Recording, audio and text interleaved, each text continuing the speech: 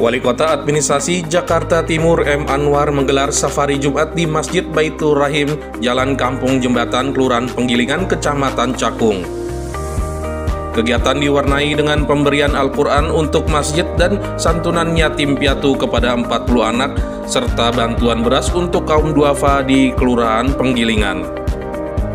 Wali Kota mengatakan kegiatan ini merupakan kegiatan rutin setiap hari Jumat guna mendengarkan segala aspirasi atau permasalahan yang ada di masyarakat dan rumah ibadah. Ini alhamdulillah Jumat saya bersilaturahim biasa sabar Jumat setiap minggu dilakukan. Ini awal bulan awal silaturahmi ini kebetulan saya berada di Masjid Baitur Rahim Kelurahan Penggiringan di Kampung Jembatan RW 12 tadi pengurus BKM sudah menyampaikan beberapa hal insya Allah kita akan fasilitasi di samping itu kita juga bantuan pada yatim maaf tadi ada sebagian warga mengeluhkan karena ijazah ditahan untuk membayar uang sekolah di madrasah kita akan selesaikan.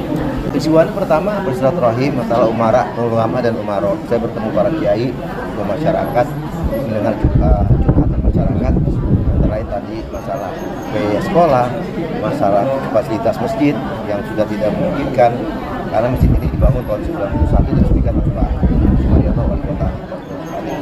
Nah, sekarang mereka akan merenovasi masjid ini kurang lebih biaya sekitar satu miliar ya bulanan 234 Insya Allah kita akan fasilitasi, kita akan bantu.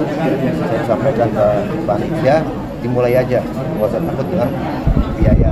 Saya menyampaikan pertama bangun kebersamaan seperti ini ya. Depan timbulkan sifat sosial kita baru tempat satu bulan bulan suci Ramadan mudah-mudahan berkesan di diri kita di jiwa kita sifat sosial ibadah kita dan dapat kita teruskan di 11 bulan ke depannya. Mudah-mudahan kita pertemukan lagi Ramadan yang akan datang.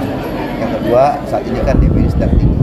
Saya harapkan para tugas dimantik dan Sawisma PKK sama-sama secara profesional melakukan PSN di rumah-rumah secara merata. Ya ini sangat sangat sangat sangat positif ya, sangat positif dan ini menambah apa ya? Seperti menambah keberkahan, menambah rahmat Allah ini uh, lebih tercurah lagi di masjid ini. Ya, wabil khusus tadi itu yang dibantu Islam tadi ini sangat sangat motivasi pokoknya ini sangat positif lah sangat baik sekali. Untuk kami uh, pengurus masjid dan juga warga di sini. Nah, selama ini kan belum pernah ada. Tim Liputan Kominfo Jakarta Timur melaporkan.